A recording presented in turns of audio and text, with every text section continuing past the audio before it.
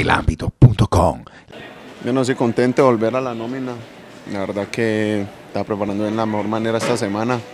Luego de la molestia que tuve y bueno, esperemos mañana dar lo mejor por el equipo, sacar los tres puntos que lo necesitamos y bueno, dar lo mejor. Sí, claro, uno siempre va a querer estar en el primer once, pero bueno, el profe es el que toma las decisiones. Mañana veremos el equipo que sale a jugar, independientemente esté o no esté, siempre voy a dar todo por el equipo, para mañana sacar los tres puntos tan importantes.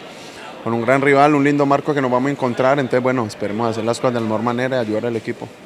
Sí, claro, aquí le damos por real los dos torneos, independientemente del que juegue siempre va a querer dar lo mejor, siempre va a querer aprovechar la oportunidad y bueno, mañana el equipo hace lo mejor para sacar los tres puntos y acercarnos cada vez más a la clasificación.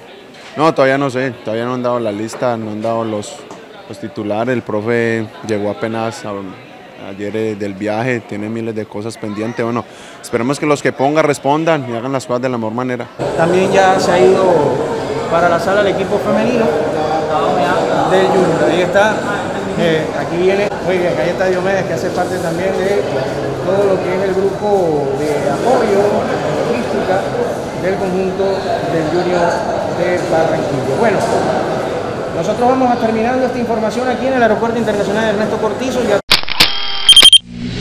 elambito.com.